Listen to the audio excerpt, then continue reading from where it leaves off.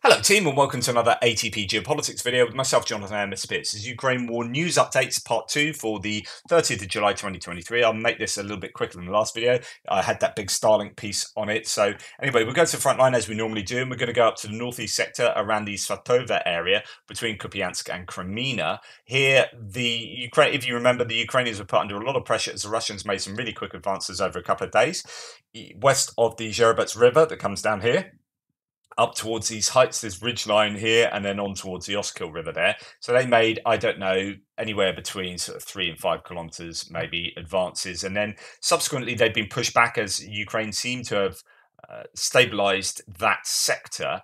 And that is what here, for example, Euromaidan press is saying. Frontline report Ukrainian forces secure control over the village of Nadia in Luhansk. So there were claims about this village that the Russians had taken it, then the Ukrainians had retaken it, or the Russians had at least left it. Uh, and it seems that the Ukrainians have certainly, well, as according to some sources, retaken it and advance on Novoherivka, forcing Russian troops to abandon their positions there. Suriyak Maps, a pro-Russian mapper, said situation in Luhansk front. Despite the initial advances, the arrival of new Ukrainian forces managed to stabilize the front line. Moreover, Ukrainian army re-entered uh, the small village of Tverdok Kibove. uh, nevertheless, it uh, the Russian army didn't stop offensive operations, and troops made minimal advances uh, south of Nerivka. So there, there are claims that the Russians are still uh, trying to advance or successfully advancing, maybe in tiny places, but essentially Ukrainians have stabilized and retaken some some territory there. Um, and Ukraine, it says that Russians are trying to enter the Kharkiv Oblast from this side. So Kharkiv Oblast is to the west of this Luhansk Oblast border there. So around this area, uh, possibly the uh, just west of Kamyazyanivka, the Russians are still pressuring. Uh, and then as we go on into different areas, let's look at, I guess, uh, we have there's no map of Bakhmut, but there are claims of Bakhmut. There are successes there still, but not a lot coming out. I don't have any mapping at the moment. Uh, so really, we're going to go on down to the southern front line. The claim from Suriyak maps in the Staromyorsk area that after the Ukrainians took Staromyorsk, uh, the Russians launched a counterattack and managed to recapture some of the high and low positions adjacent to Staromyorsk, forcing the Ukrainian army to withdraw to the northern part of the town. I don't know that that's wholly true. I've not really seen that uh, mentioned elsewhere. Uh, in fact, I've seen contrary evidence that, that they're fine and they're kind of securing Staromilsk and actually probing south from there, uh, and they're putting a lot of pressure on Uruzhaini. Here we have Ukraine one being one kilometer away from the settlement of Pryutne. So Pryutne is just sort of to the left of the screen. Um, uh, Zaporizhia Oblast, one square kilometer has been added to the liberated status. No reports says the Ukrainians have advanced towards Pryutne. They're on the outskirts and are pressing the flanks of Berezhiny. Ukrainians have reached the road between Novodonetsk and uh, Kremenchuk. So Novodonetsk is to the right of this screen. Um, indeed, uh, we'll have a look on a, on the main map in a second.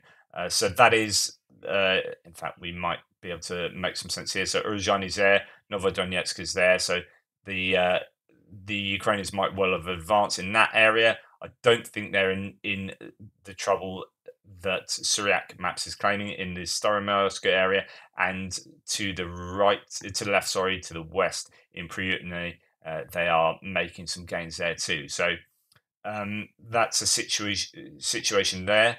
Uh, here we have the uh, one source here saying yesterday Russians said that the situation of the Ukrainians in Staromilsk was terrible. Now the Ukrainians are preparing to move on. So it, it's like going back against what they were saying. So that, you know, the Suriyak maps claim that the situation is bad in, in Staromilsk. After the occupation of Staromilsk, the enemy did not begin to consolidate in order to organize a solid defense there, but eliminated our engineering obstacles in the direction of Uruzhany. Today, enemy aircraft have already made about seven attacks on this settlement. Electronic warfare is actively working to suppress our communications, that's Russian communications, and artillery preparation is underway. It is obvious that an attempt is being made to break into Uruzhany. Some time ago, having directed the main blow uh, to Novodonetsk, the enemy almost captured Uruzhany by exile. I don't quite know what that means, but did not have enough perseverance. After that, we increased our presence in the village, and in recent days, we have stopped any attempt to attack Orozhany head on. By capturing Staromilska, the enemy managed to move to the flank of Orozhany, uh, creating a threatening position for our defense. So, I would, I, I think, you know, those kind of Russian sources go against maybe what uh, Suriyak Maps is saying here. Uh, uh, about that situation. But really, not a lot else is coming out on on the front lines. I mean, that is where I'm going to leave it for the moment. I am going to do more research, obviously, and I'll give you a much more robust uh, indication of what's going on uh, on uh, right up and down the front line as far as I can work out from my different mapping sources and so on and so forth. So check out that video coming out shortly. Right, let's go on to military aid. Um, here we have Ukraine's SSO treated us to some new footage of Brimstone in action. So what are Brimstone? These are well, originally designed as surface to uh, air to air to surface um, missiles. So ground or air launched ground attack missiles, but actually initially air launched. Uh, they've now been adapted to ground attacks, I believe. They're kind of medium range missiles. Uh, so from the from a fixed wing, they can fire sort of 20 kilometers. Obviously, that's going to depend a lot on the height of the uh, aircraft. 60 kilometers uh, for Brimstone 2. I don't know exactly which one the Ukrainians have, but they are ground launched, and we have seen them launched off the back of kind of different vehicles. Like near the beginning of the war, when they had initially been given these, I saw them being launched off the back of basically a truck, like a commercial truck, because they're kind of palletized, so you can just put the system on on kind of anything. But anyway, uh, a salvo of three missiles are seen launched from the back of a flatbed, probably from one of the palletized launchers we saw earlier. Here's a little edit. So th- there you go. The brimstones are being used. That, that's going to be useful for the Ukrainians. Uh, German politicians call for the transfer of Taurus long range cruise missiles to Ukraine. So these are basically uh, the equivalent, the German equivalent of the Scalp and the Storm Shadow. So they need loads of these. These are re- being really well utilized by the Ukrainians. Delivery to take place immediately. I mean, that's that's the call. That's not to say it is uh, being made uh, immediately. But um, it would be great if Germany does provide those. Uh, slightly off topic, says this uh, source. Two more Leopard 2A4s arrived today at the the Polish Leopard hub in Gliwice.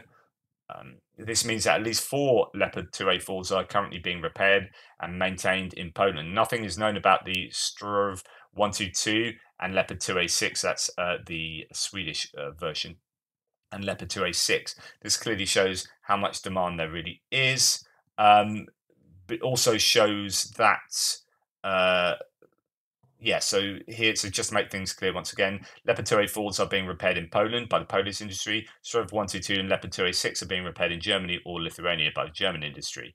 Uh, there's another source, or this one somewhere else says that basically when you count up all the ones that are being repaired, as according to verified Oryx data, that means only three have been destroyed since the beginning of the counterattack, rather than like the Russians have claimed that more leopards have been destroyed than have been provided to Ukraine. So it's part of the course for their kind of disinformation attempts. But uh, yeah, it, it, maybe the truth is somewhere in the middle. But as far as what we know from verified information, actually they're not doing too bad for losing leopards, but they haven't really been used. I mean, they're used initially and they lost a bunch and then they kind of pulled back and changed tactics. Maybe a few more are just being used at the moment. Uh, not quite sure what's going on on the front line though, just now after those initial gains from two days ago, but also losses. Right. Uh, losses in terms of equipment, gains in terms of territory. Uh, CNN shot a report about a new Ukrainian maritime drone. Journalists claim that it can carry 300 kilograms of explosives and hit targets at a distance of 800 kilometers. Right, this is really good uh, uh, and fantastic uh, potential there. However, it does kind of depend on Starlink. It's interesting that that this article that I spent all that time talking about in the previous video has you know real ramifications, or at least Starlink has. The use of Starlink has real ramifications on a number of different areas of the Ukrainian armed forces. Obviously, the communication area. In this in this case, it's communication with drones, uh, long range maritime drones. So here we have um, Special Kherson here saying in early June, the Pentagon approved an uh, agreement to purchase four to 500 Starlink terminals for Ukraine, the settings of which will be in the hands of the US, not Elon Musk. So that is not geofenced Starlinks, which means, for example, Starlink is used in the Ukrainian Magura V5 sea drones, claimed range of 800 kilometers, which we uh, were recently presented, which were recently presented in Turkey. In theory, this would probably allow similar weapons to be used without worrying that Musk could turn off Starlink access at any time he wishes. It's really significant that a they've got the defenced or the de-geofenced uh, Starlink communication uh, pieces of equipment terminals, uh, and it's it's great because you can then utilize uh, these kind of drones to wreak havoc really far into Russian territory, you know, maritime territory there. So that's four to 500 of those de geofenced terminals being given, and that's really, really important. Zelensky, as I said earlier, raised the topic of Starlink. Ukraine's battlefield decisions depended on the continued use of Starlink for communications, Zelensky said, and his country wanted to ensure access and discuss how to cover the cost of the service. So that is something going on, uh, still ongoing, one would imagine, and will be ongoing for a long time. They'll just need continued use of Starlinks. They are that important, uh, but but they kind of need unhindered access to the system. Um, right, Wagner Group has likely returned heavy equipment to the Russian army. Uh, Defense HQ has reported. Uh, that is the UK uh, intelligence um, report that comes out every day. According to satellite images of the Wagner Group camp in Belarus, most of the visible vehicles of mercenaries are trucks and vans. Few armored combat vehicles were recorded. And there have been these uh, images of a number of tanks and IFVs and whatnot. In so I, I asked the other day because I showed a whole bunch of these Russian tanks just sitting in a like scrubland. And I was like, what are they doing? Like they're all parked next to each other. What are all these doing? Someone said those are actually Wagner vehicles that are being kind of stored to well ready to be given back to the Russian mi- um, military. So I think that is what has happened. I presume R- Russia will get an influx of Wagner heavy equipment that they will be able to use on the front lines, but then that, of course, deprives Wagner of being able to use those going forward. Um, right, geopolitical news. So not a lot really of news on, on any front here. Now, I'm going to show you something which is cool. This is the coolest video you're going to see today. This is just a normal converse, political conversation, right? In in Poland. I like this is part of the course. This is a deputy agriculture minister. Uh, this is a, an excerpt of his argument with, or dialogue, as it says, in dialogue with farmers leaders. I think this might be to do with you. I don't know for sure, so this might be completely irrelevant but I think it's to do with the uh, the grain uh, in coming from Ukraine and through Europe and flooding markets with cheap grain and that being a threat to I- indigenous farmers. So here, but check out this dialogue. It's brilliant. But apparently, not a single swear word was was exchanged, and they he keeps called. I think both of them called each other sir or whatever.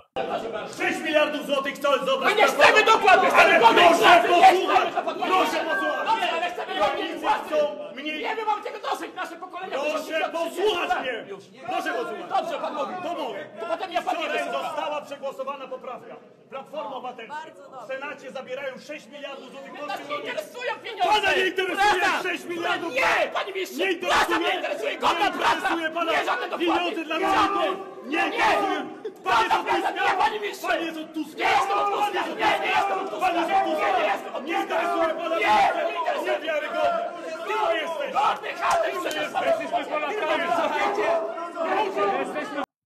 Brilliant.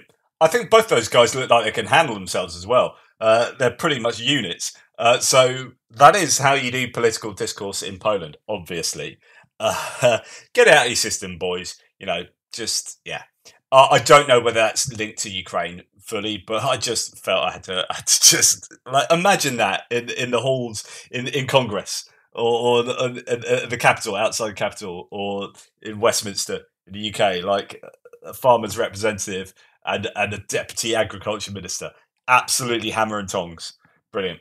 Uh, Polish Prime Minister, speaking of which, uh, says that more than 100 Va- Wagnerians have gone towards a Suwalki gap connecting Poland with the Baltic states. So this is a gap here. So going to the edge of Belarus, Um, according to him, they will be disguised as Belarusian border guards and will help illegal immigrants to enter the country and destabilize the situation in Poland.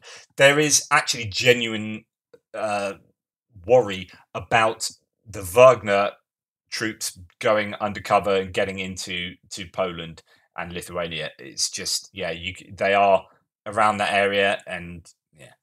Um, to sta- destabilize the situation in Poland, the uh, Polish Prime Minister called it an unconditional step towards a further hybrid attack on Poland. So watch out for that. There's a lot of talk about that, and the po- Polish are really gearing up uh, along the border here with their um, with their own military right up and down the Polish Belarusian border, and I presume the Lithuanians will be doing the same as well.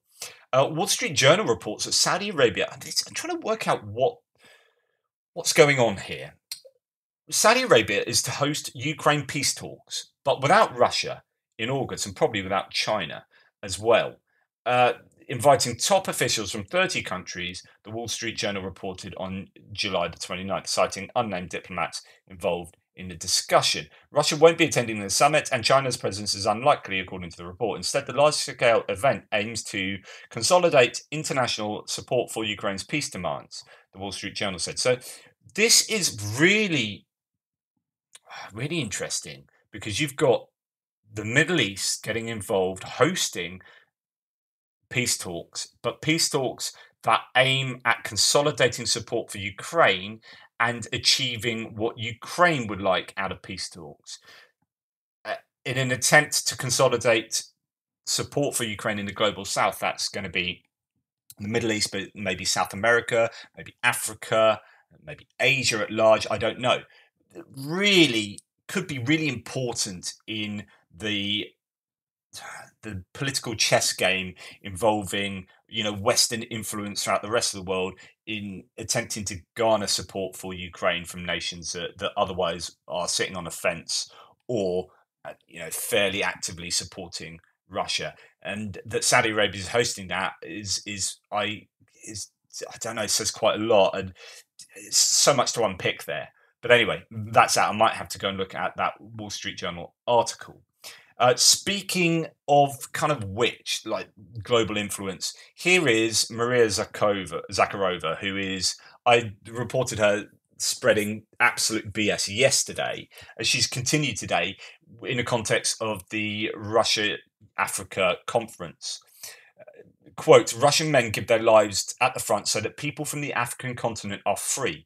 You absolute what? I mean, it's just absolute nonsense. So let's go through what she says uh, in this little excerpt. Defending the right of the whole world to be free, she says, We're going to attack a nation and thus impinge upon their own freedom, constrain their own freedom by imperialistically invading them uh, because we're fighting for freedom. What? So here she says, two Africans. Uh, sitting there just thinking, uh, you know, think of how Africa has been this colonial f- political football uh, throughout history. You know, and and there's more to come on on that subject. I'll, I'll let you know in a second. So, do you not see that we are fighting? She says. Do you not see that our guys are giving their lives? Well, yeah, both of those things are true.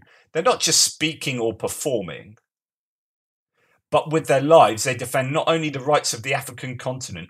What? No, they're not. No, they're not. But the right of all people on the planet to be free. They are doing the exact opposite. Like, there's a democratic nation, a sovereign nation of, of, Ukraine that you guys have invaded so that they can't exercise their democracy. You are fighting against freedom. It's just ridiculous and deeply offensive.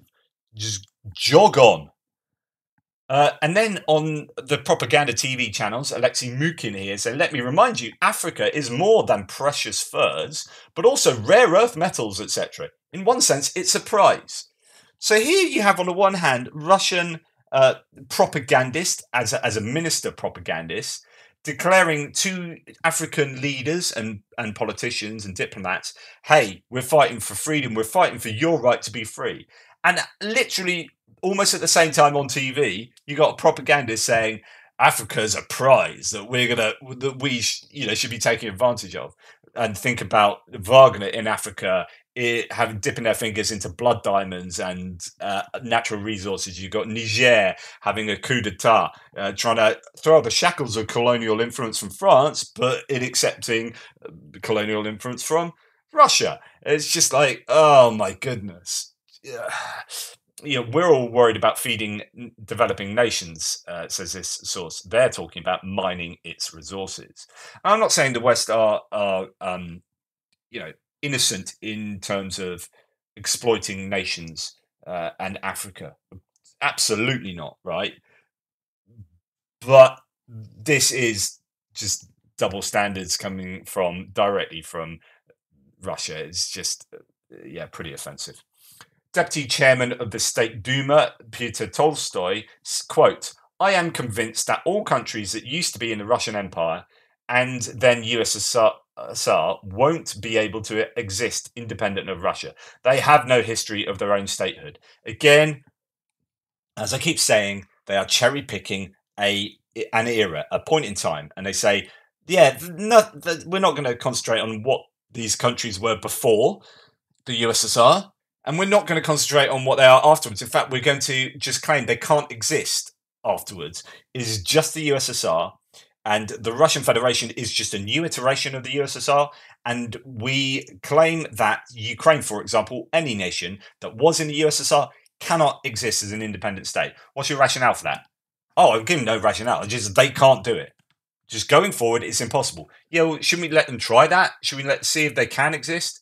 No, no, no, no. I mean, we did try that with UK. Uh, Ukraine, we didn't try that. Ukraine tried that. They tried their independence, and you're saying they can't exist independently, but this is a self fulfilled prophecy because they started to exist independently and you invaded them so that they couldn't exist independently. So, in other words, this is you guys, propagandists, saying, or no, no a politician saying they can't exist independently. Why not? Because we'll invade them if they do.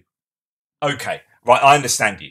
So basically, you're just a big Soviet Union empire again. That's what you want. That's what you're going for, isn't it, Tolstoy? Uh, the EU does not ha- yet have the means to ensure the transit of grain from Ukraine by land, says Reuters.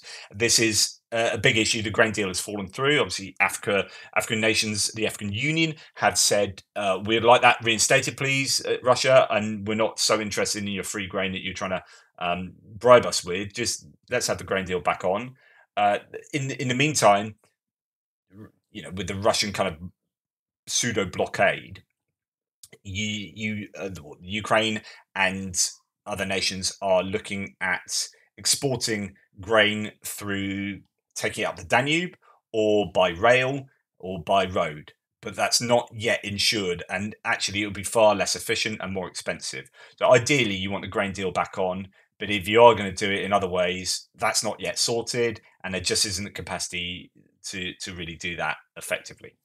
Anyway, that's uh, me for the day on news. Thank you so much. Please like, subscribe, and share. Sorry, my first one was a long one. Take care. Speak soon.